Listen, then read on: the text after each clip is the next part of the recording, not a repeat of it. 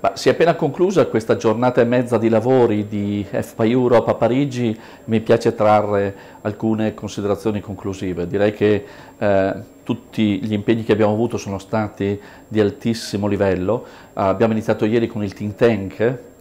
che ha visto una serie di eh, certificati in rappresentanza dei diversi paesi nei quali siamo presenti con le varie FPA locali aver contribuito al dibattito su due tematiche di assoluta attualità. Da un lato la tematica ESG,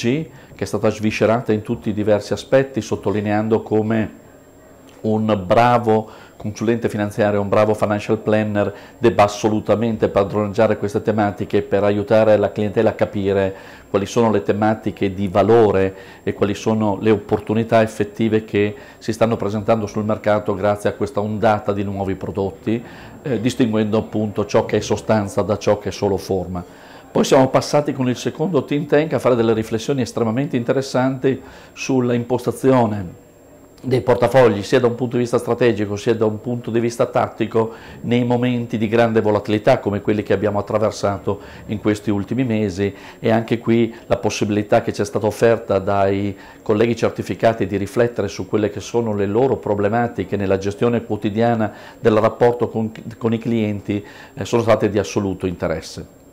Il pomeriggio della giornata di ieri è stato poi dedicato ad un momento di riflessione interna tra tutte le diverse EFPA locali eh, con eh, il coinvolgimento non solo dei board member ma anche delle varie persone che rappresentavano gli staff delle diverse eh, eh appunto, realtà locali perché abbiamo voluto diciamo, da un lato riflettere sull'evoluzione del numero dei nostri certificati, l'aver raggiunto e superato la quota dei 93.000 certificati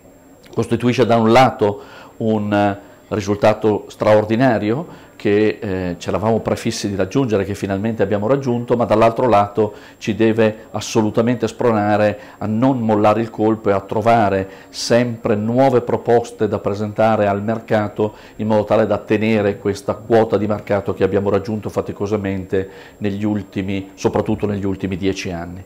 Abbiamo poi dedicato un bel po' di tempo a riflettere sulle best practices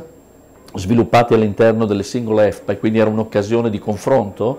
eh, per poterle apprendere e magari mutuare tra le diverse realtà, sia in termini di come gestire i, i canali eh, mediatici per poter diffondere quanto più possibile la conoscenza dei nostri certificati e del valore della certificazione al pubblico finale, in modo tale da supportare i nostri professionisti nel riconoscere da parte del mercato il valore della certificazione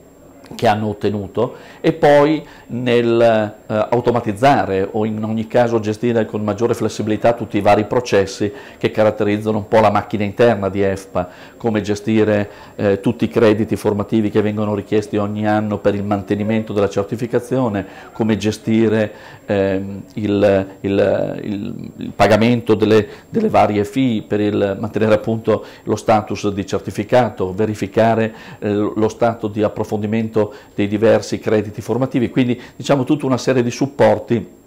sui quali alcune EFPA in particolare hanno sviluppato dei veri e propri meccanismi automatizzati che è stato interessante eh, condividere eh, con tutti eh, gli altri. La mattinata di oggi, infine, è stata dedicata a due eh, principali tematiche. Il primo panel, eh, che ha visto soprattutto la presentazione eh, di Mariola, la eh, presidente di EFPA Polonia, è di un lavoro che ci ha impegnato negli ultimi mesi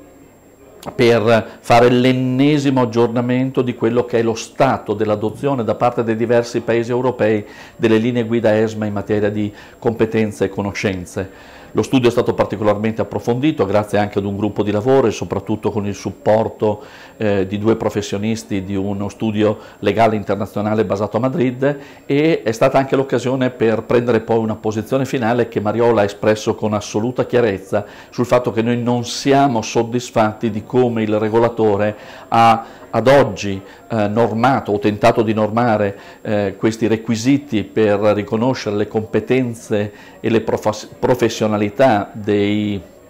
consulenti finanziari e dei financial planner e da questo punto di vista abbiamo messo la nostra esperienza a disposizione dei regulator per potersi, se lo vorranno, confrontare con noi anche e soprattutto alla luce di un'ipotesi di una label unica europea eh, che, noi, che, secondo noi è un traguardo che può essere assolutamente raggiunto e sul quale, ripeto, l'esperienza maturata da 20 anni di attività, anzi 22 ormai, di attività sui diversi mercati europei, penso ci metta nella condizione di poter suggerire qualche soluzione interessante. Nella successiva tavola rotonda coordinata da Joseph Soler Alberti, il diciamo, punto di riferimento eh, non solo di FPA Spain ma anche di FPA Europe, è stata dedicata al tema, come era inevitabile che fosse, della eh, Retail Investment Strategy, il documento che è uscito soltanto una decina di giorni fa e sul quale ovviamente ci sono opinioni discordi a seconda che eh, si tenga in considerazione il punto di vista dei distributori barra collocatori barra intermediari finanziari che offrono il servizio di consulenza in materia di investimenti. Da una parte, l'industria dall'altra il regulator dall'altra ancora. È stato interessante poter avere presente eh, Salvatore Gnoni in rappresentanza dell'ESMA e da remoto avevamo due esponenti delle FAMA e della Commissione europea e il dibattito che è stato animato da Joseph ha consentito di mettere inevitabilmente in evidenza come i punti di vista siano abbastanza diversi e come su questa materia saremo costretti a tornare nei prossimi mesi, anche perché siamo ancora in attesa dell'ultimo eh, documento definitivo che eh, verrà eh, emanato dal Parlamento. Quindi direi che è stato un giorno e mezzo intensissimo, eh, da tutti ci è stato riconosciuto la qualità del lavoro svolto e la qualità degli interventi dei panelist, per cui eh, esprimo assolutamente grandissima soddisfazione.